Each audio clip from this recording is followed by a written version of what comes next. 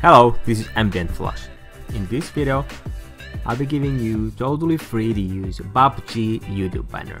And I will show you how you can change your name when you have downloaded this PSD template from the video description. There is also a link to the font. You double click on this layer here. You need first hide these cracks so you double click here and write your name. Okay, and then you enable this layer here. You can move it or make it larger or whatever you want. Then when the cracks layer is selected, you go above your name layer. You hold down Control and left with the left mouse click it once. And now it makes a selection around your name. And you need to make the selection inverse. So you click select and inverse.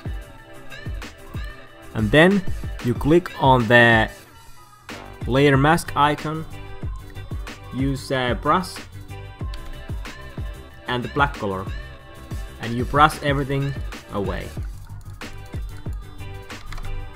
There you go, now you have the cracks on your name.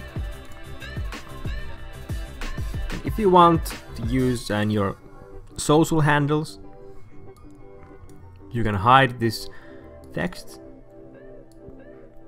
And here is the folder social. You enable it and left click here your names into the this part. I don't want this social now. I also made few variations. There is totally 4 characters if you want to change some characters.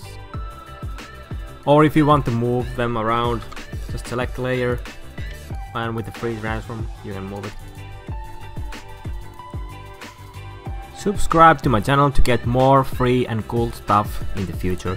In my next video I'll be showing you how you can make a PUBG text logo from the scratch. This is Ambient Flush, see you in the next video.